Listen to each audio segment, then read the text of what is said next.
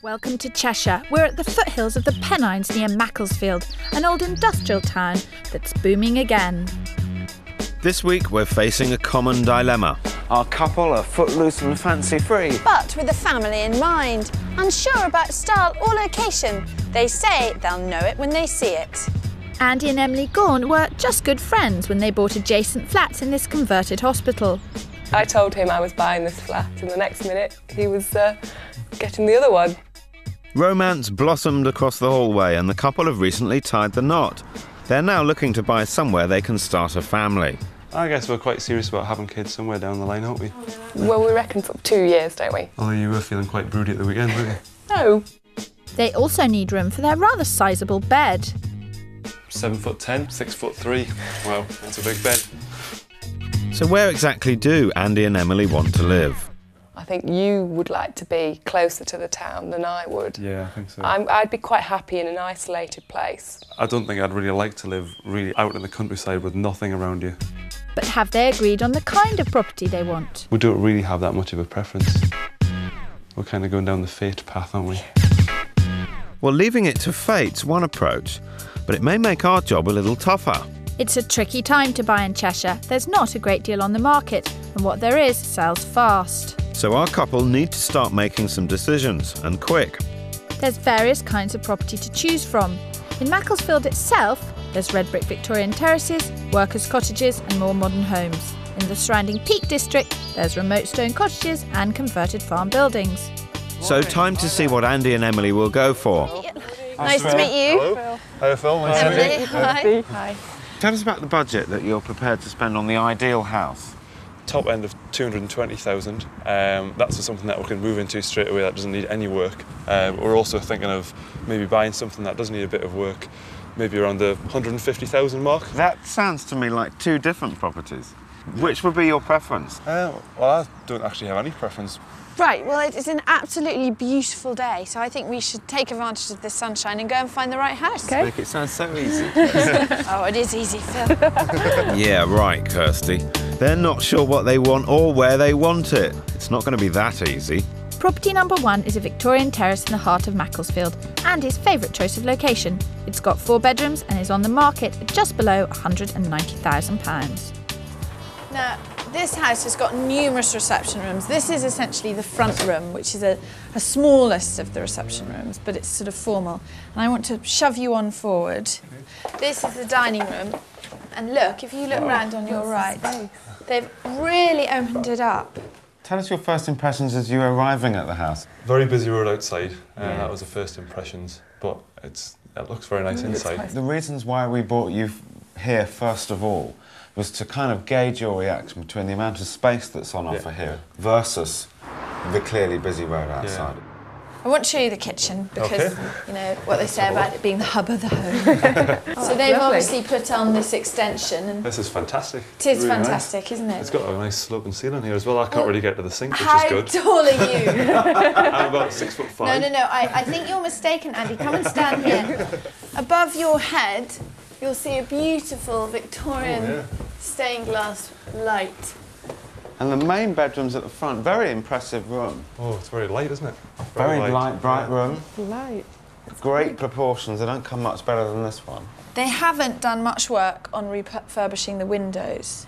You can have Victorian sash windows, wooden ones, but double glazed. Okay. Yeah. They don't come cheap, Yeah. but they're fantastic. Here we go, massive room up there, you go on up. Okay. Hey, this is big. Excellent.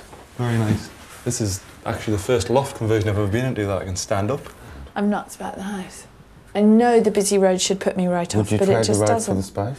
Well, I'm. I mean, you know what I'm like. I'm so pathological about roads. I'm like, oh, but you really don't feel it once you're in the house. I I think it's really nice. I think it's got all the space that we're after. I think there's, there's quite a lot of potential here.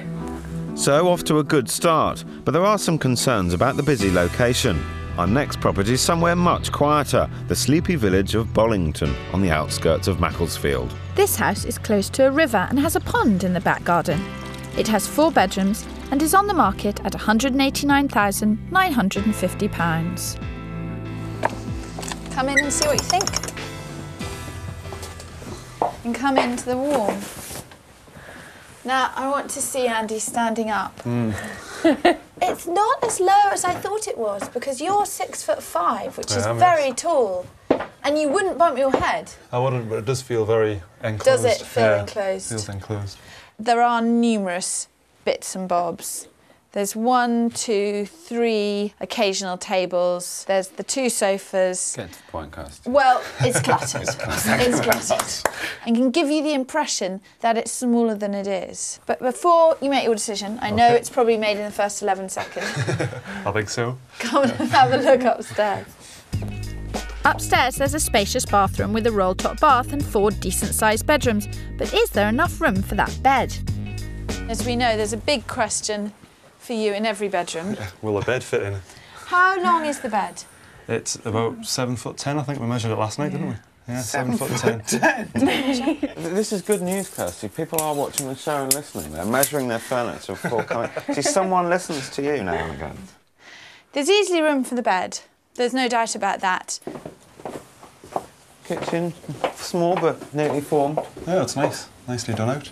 Bit of room to eat. Ceiling's a bit higher. Yeah. All the Ceiling is storage a you bit need higher. in there. Nice porthole window as well. You can hear the, the running water. I suspect this must have been the stream or river that fed the mill. What do you worry about this? There will be a history. If this house has been flooded, it will considerably increase your insurance. Yeah. Oh, I really like this. Lovely garden. It's a lovely Very garden, nice. isn't it? This is a nice garden. You're not overlooked at all either, are you? Yeah, it's quite private. Yeah. Well, lots of talk about floodings and nice gardens, but it comes down to the house. Is it right for you? No, I just feel too big for the house. Yes, I mean, I, I felt the whole house, it wasn't much bigger than the flat we're in at the moment. I think you're paying for the Bollington location, the lovely late Georgian house, the lovely garden. But as you say, if you don't fit into the house, the house is the fat lot of good. OK, our next property's got much more space. It's modern, but we haven't sacrificed period style. 10 miles out of Macclesfield, this cottage in Mobberley was built just seven years ago, but using reclaimed bricks. It's on the market for £219,000. Come in. Wow, Oh, it's this is nice. I know that when you came up the front door, it wouldn't have occurred to you that this was a new house.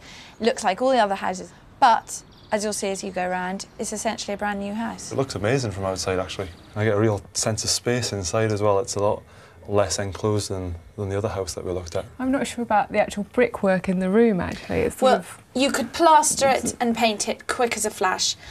Exposed brick is hugely fashionable. I've not been a fan of it at Right. all. What do you think?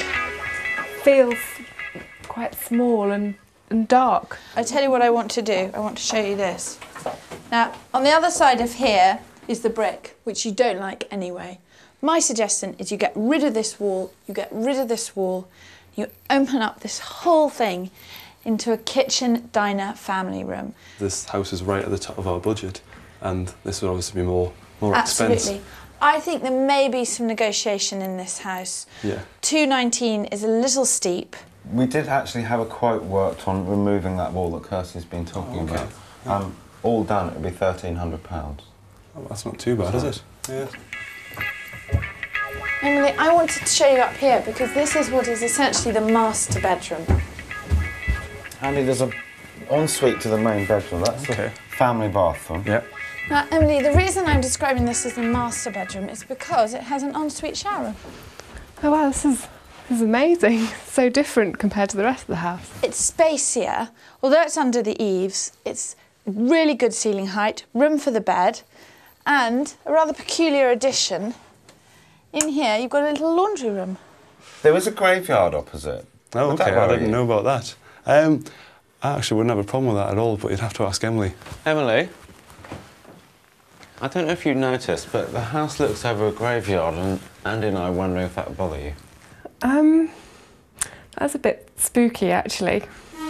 Well, they did say they wanted somewhere quiet. So it's the end of day one. How are we doing? We've seen three houses today. Are any of them what you're looking for, or are we barking up entirely the wrong tree? Well, I actually loved the first one. I thought it was excellent. Lots of space, and I really liked that room at the top. Yeah, I'd agree with you there. The, f- the first one really stands out. Just had the space that we wanted. You seem to be comparing all the houses on space, and we haven't been talking about style or location. I think the space issue is, is what we're working out as the main thing Yeah. that we want. I think if we could stretch our Phil to six foot five, he would suddenly realise how important the space became a major requirement. So we're narrowing down our